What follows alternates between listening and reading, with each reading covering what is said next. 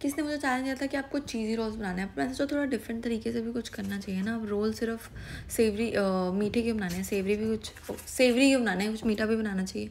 तो मैंने यहाँ पे बहुत सारी जो अवेलेबल मुझे नीचे दुकान से मिला ना सामान वो सब लाई सबसे पहले तो Britannia cake which is my favourite favourite favourite thing to have क्या आपको फ्रूट वाला ज़्यादा पसंद है या चॉकलेट वाला? मुझे चॉकलेट ज़्यादा पसंद है टू बी ऑनेस्ट तो मैं यहाँ पे ये छोटे वाला जो फिफ्टीन जो कि अब मेरे ख्याल से और महँगा हो गया ना ये वाला पैक ये लिया साथ में डेरी मिल्क ली ब्रिटानिया चॉकलेट ली और साथ में हमारे पास थोड़ी बहुत और चॉकलेट भी पड़ी है फाइव स्टार या बार फन कुछ ऐसे है, वो भी डालेंगे। आपकी फेवरेट चॉकलेट कौन सी है? जल्दी से कमेंट सेक्शन में बताओ। तो हम सिर्फ़ उसी बेस से एक केक केक की रेसिपी शेयर करूँगी मैं। तो ये लगाया ऊपर से मैं मिल्की बार भी मुझे बड़ी पसंद है तो मैं मिल्की बार यूज़ कर रही हूँ। फिर उसके बाद मैंने सोचा थोड़ा सा ना वो डाल देते हैं ऊपर से हर्षे सिरप डाल देते हैं ताकि चॉकलेट सॉस का भी टेस्ट आए तो वो डाल रही हूँ। और ये ना स्वीट रोल बन जाएगा आपका।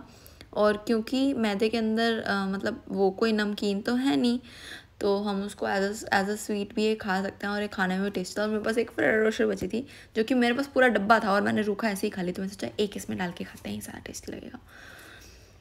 Which is your favourite chocolate comment down below उससे रेसिपी शेयर करेंगे। हाँ एक काम करते हैं, आप एक चॉकलेट बताओ।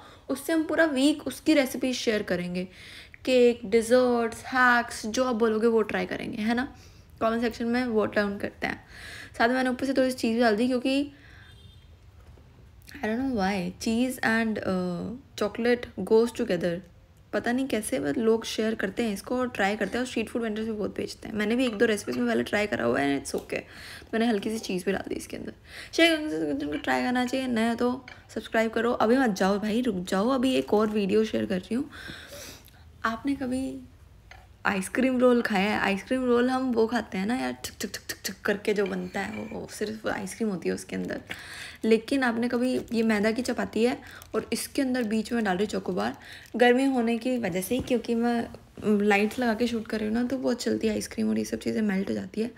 और फ्रिज भी पता नहीं क्यों इतना ज़्यादा कूल नहीं थी तो उसकी वजह से होगी। ये छोटे ना, दो मिनी चोकोबार पड़ी थी, इसलिए मैंने दो यूज़ करी है यहाँ पे। वो लो और क्या कहते हैं वो लगा दो इसके ऊपर।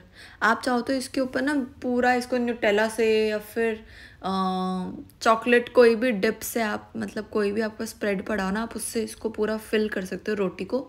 और ऊपर से आप आइसक्रीम डालो। दो तीन फ्लेवर्स भी अलग अलग डाल सकते हो। मैं बस चोकोबार पड़ी थी, मैं चोकला लिया, वैसे कर सकते तीन फ्लेवर्स के स्कूप्स डाल दो और फिर उसको रोल बना के खाओ। और मेरे को बताना कैसे लगता है, क्योंकि मुझे लग रहा है अच्छा लगेगा। शेयर करूँगा, जिनको ट्राई करना चाहिए। नया हो तो अब फॉलो और सब्सक्राइब करना। चाहते हैं इनको कि भाई।